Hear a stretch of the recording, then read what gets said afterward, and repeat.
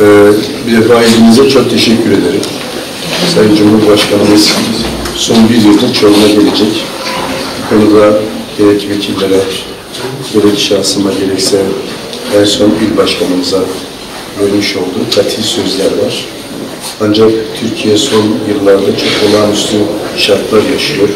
Bu nedenle gelişine yönelik e, bazı sözlerin olmasına rağmen ertelemeler söz konusu oldu. Zorunlu ertelemeler söz konusu oldu.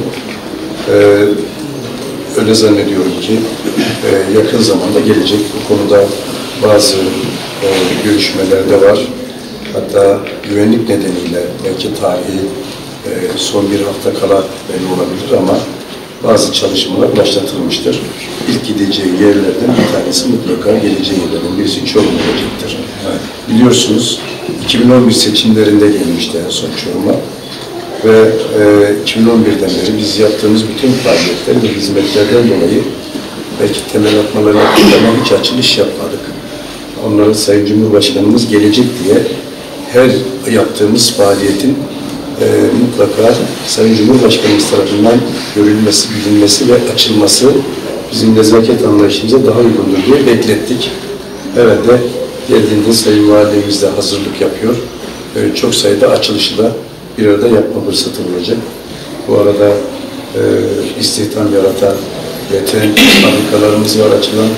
Hizmet sektöründe son derece ciddi hastane, sağlık hizmetlerimiz var ve diğer kamu hizmetleri ilgili genelde kamu ve özel sektöre ait açılışlar Sayın Cumhurbaşkanımızın Çorum teşrifleri halinde olacak. Dolayısıyla şu anda planlama yapılıyor.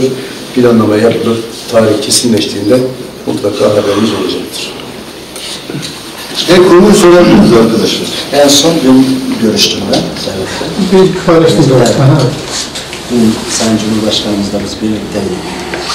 Ee, en net olarak illerimizden çok Sarı abinin söylediği gibi en kısa sürede referandumdan önce muhakkak gelecek inşallah.